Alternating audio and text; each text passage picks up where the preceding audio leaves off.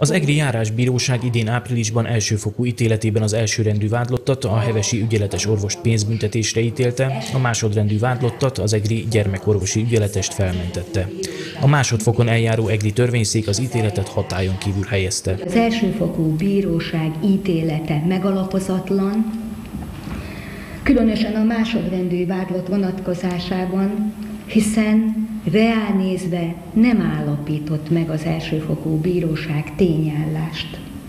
Ez egy abszolút megalapozatlansági ok, mert az állandó bírói gyakorlat szerint felmentő ítélet esetén is kötelező az elsőfokú bíróságnak tényállást rögzíteni. A korábbi verdiktet megalapozatlannak találta a dr. Erdély Anna vezette bírói tanács, mert az elsőfokú bíróság nem kellően derítette fel a tényállást, a meglévő bizonyítékokból pedig helytelen következtetés vont le. Különösen arra hívta fel az elsőfokú bíróság figyelmét a törvényszék, hogy azt nem állapították meg, hogy a gyermek, ez a hat hónapos csecsemő, mikor került közvetlen veszélyeztetett állapotba, tehát tulajdonképpen a betegség útja felderítetlen, és ezért megalapozott döntést nem lehet hozni ennek hiányában egyik orvosvádlott esetében sem. A részletes indoklás végén elhangzott az is, az eset kapcsán több tanulságot is le kell vonni.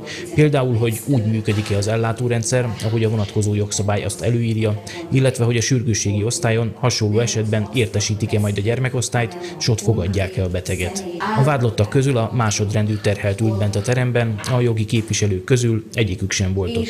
Ám az ítélet hirdetésre eljött az elhunyt kislány édesapja. Lassan ötödik éve megy az ügy, én nem gondolom, hogy ez eddig kellene elhúzni, tehát nincs már mit bizonyítanom. Tehát amit eddig elmondtam, ezt tartom most is, tartani fogom a következő tárgyalásokon is.